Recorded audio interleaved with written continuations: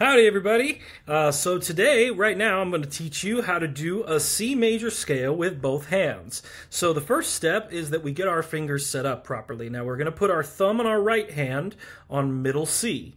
And then each of our other fingers is going to take one of those keys. So right now we have C, D, E, F, and G little stumble there. Um, so here we go with the uh, right hand playing of the C major scale. We have finger one, three, and you'll notice that I'm keeping a slight bend to my fingers as I do this.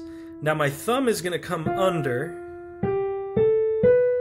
and I'm going to go up to the top. So once again, we have one, two, three, thumb under, all the way to the top, and always go both directions so that you can get the hang of both directions nice and smooth and you do want to work on your speed. And then on the other hand, we're going to do the same thing. We're going to go with our pinky on the lower C. So that right now we have C, D, E, F, G with our fingers 5, 4, 3, 2, 1.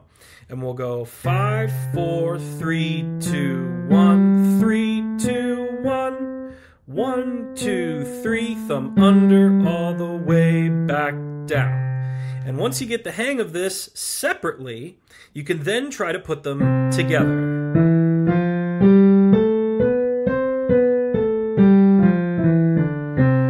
There's the C major scale.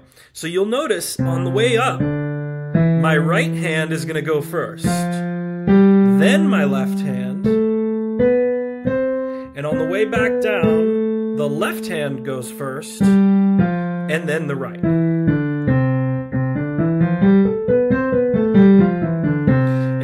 Make sure that you get this nice and smooth.